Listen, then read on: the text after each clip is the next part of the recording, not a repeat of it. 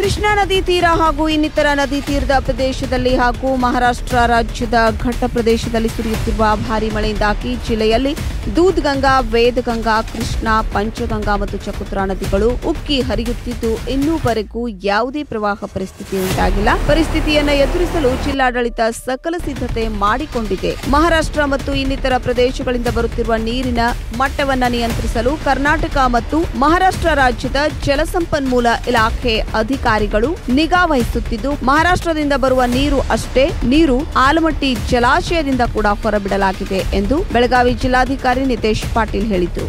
ಅವರು ಚಿಕ್ಕೋಡಿ ತಾಲೂಕಿನ ಮಾಂಚರಿ ಗ್ರಾಮದಲ್ಲಿ ಕೃಷ್ಣಾ ನದಿ ನೀರಿನ ಮಟ್ಟ ಪರಿಶೀಲಿಸಿ ಸುದ್ದಿಗಾರರ ಜೊತೆ ಮಾತನಾಡುತ್ತಿದ್ದರು ಈ ವೇಳೆ ಜಿಲ್ಲಾ ಪೊಲೀಸ್ ವರಿಷ್ಠಾಧಿಕಾರಿ ಪಾಟೀಲ್, ಜಿಲ್ಲಾ ಪಂಚಾಯಿತಿ ಮುಖ್ಯ ಕಾರ್ಯನಿರ್ವಹಣಾಧಿಕಾರಿ ದರ್ಶನ್ ಚಿಕ್ಕೋಡಿ ಉಪವಿಭಾಗಾಧಿಕಾರಿ ಸಂತೋಷ್ ಕಾಮಗೌಡ ಹಾಗೂ ಇನ್ನಿತರ ಅಧಿಕಾರಿಗಳು ಹಾಜರಿದ್ದರು. ಬೆಳಗಾವಿ ಜಿಲ್ಲೆಯಲ್ಲಿ ಧಾರಾಕಾರ ಮಳೆ ಸುರಿಯುತ್ತಿರುವುದರಿಂದ ಹಲವಾರು ನದಿಗಳ ನೀರಿನ ಮಟ್ಟ ಏರಿಕೆ ಕಂಡಿದೆ.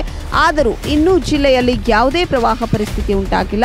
ಪ್ರವಾಹ ಪರಿಸ್ಥಿತಿ ಎದುರಿಸಲು ಜಿಲ್ಲಾಡಳಿತ ಸಕಲ ಸಿದ್ಧತೆ ಮಾಡಿಕೊಂಡಿದೆ ಎಂದು ಚಿಕ್ಕೋಡಿ ತಾಲೂಕಿನ ಹಲವಾರು ಗ್ರಾಮಗಳಲ್ಲಿ ಭೇಟಿ ನೀಡಿ ಅಲ್ಲಲ್ಲಿ ನಿರಾಶ್ರಿತ ಕೇಂದ್ರ ಸ್ಥಾಪಿಸಲು ಎಲ್ಲ ಸೂಕ್ತ ವ್ಯವಸ್ಥೆ ಮಾಡಿಕೊಳ್ಳಲಾಗಿದೆ. ನಿಪ್ಪಾನಿ ತಾಲೂಕಿನ ಪ್ರವಾಹ ಪರಿಸ್ಥಿತಿ ಉಂಟಾಗಿದೆ. ಆದರೆ ಯಾವುದೇ ಜೀವ ಹಾನಿ ಜಾನುವಾರು ಹಾನಿಯಾಗಲಿ, ಮನೆಗಳಿಗೆ ಹಾನಿಯಾಗಿಲ್ಲ. ಚಿಕ್ಕೋಡಿ ಮತ್ತು ಅಥಣಿ, ರಾಯಭಾಗ್ ತಾಲೂಕಿನಲ್ಲಿ ಇನ್ನೂ ಕೂಡ ಪ್ರವಾಹ ಪರಿಸ್ಥಿತಿ ಇಲ್ಲ. ಈ ಭಾಗದಲ್ಲಿ ನಿಗಾ ವಹಿಸಲು ಜಿಲ್ಲಾಡಳಿತ ಸಂಬಂಧಪಟ್ಟ ಅಧಿಕಾರಿಗಳಿಗೆ ಸೂಕ್ತ ಸೂಚನೆ ನೀಡಲಾಗಿದೆ ಎಂದರು. ಪ್ರವಾಹ ಬಂದರೂ ಕಾಳಜಿ ಕೇಂದ್ರ, ಸಕಲ ಸಿದ್ಧತೆ. ಜಿಲ್ಲೆಯಲ್ಲಿ ಇದೇ ರೀತಿ ಧಾರಾಕಾರ ಮಳೆಯಾದರೆ ಪ್ರವಾಹ ಪರಿಸ್ಥಿತಿ ಉಂಟಾಗಿದ್ದ ಸಮಯದಲ್ಲಿ ಜನರ ಸುರಕ್ಷತೆಗಾಗಿ ಜಿಲ್ಲಾಡಳಿತದಿಂದ ಕಾಳಜಿ ಕೇಂದ್ರವನ್ನ ಸ್ಥಾಪಿಸಲು ಸಕಲ ಸಿದ್ಧತೆ ಮಾಡಿಕೊಳ್ಳಲಾಗಿದೆ. ಕಾಳಜಿ ಕೇಂದ್ರದಲ್ಲಿ ಯಾವುದೇ ಪ್ರವಾಹ ಪೀಡಿತ ಜನರಿಗೆ ಅನಾನುಕೂಲವಾಗಬಾರದೆಂಬ ನಿಟ್ಟಿನಲ್ಲಿ ನಿಗಾ ವಹಿಸಲು ಸಂಬಂಧಪಟ್ಟ ಇಲಾಖೆ ಅಧಿಕಾರಿಗಳಿಗೆ ಚರ್ಚಿಸಿ ಸೂಕ್ತ ಕ್ರಮ ಕೈಗೊಳ್ಳಲು ಸೂಚನೆ ನೀಡಲಾಗಿದೆ ಎಂದು ಅವರು ತಿಳಿಸಿದರು. ಪರಿಸ್ಥಿತಿ ವೀಕ್ಷಿಸಲು ಬಂದಿರುವ ಜಿಲ್ಲಾಧಿಕಾರಿಗಳ ಜೊತೆ